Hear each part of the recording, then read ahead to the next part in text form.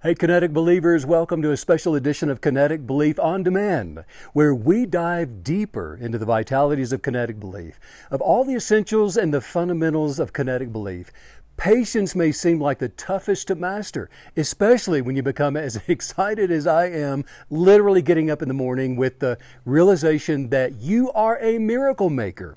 But patience is essential to being a high level, highly productive KB because patience is what makes your belief work. So, how can we get to the place where we consistently display patience with people and situations.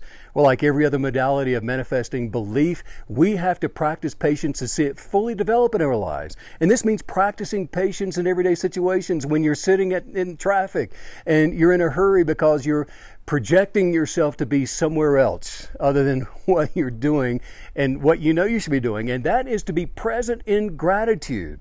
Still, you're late, so what do you do? You exercise patience. It's a kinetic belief action. It's in, it's in there, and you may have to look within to find it. You may have to decide that, you know what, I'm going to be patient with this situation, but it's a decision you want to make.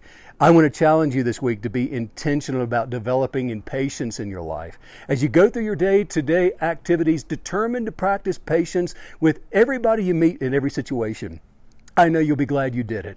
If you want to study more about the modalities of kinetic belief and exactly how all of this works together in your daily practical life, be sure to check out my 100 day guided journal.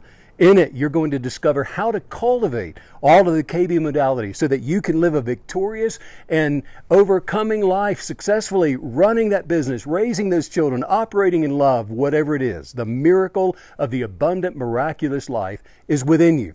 Thanks for taking time with me today and be on the lookout for more of this special video series in the weeks ahead. If you've missed any videos in the past, you can still find them on my YouTube channel. And remember, the perfected version of you already exists. You just have to go in there and see. Sending you so much love and light. I'll see you next time.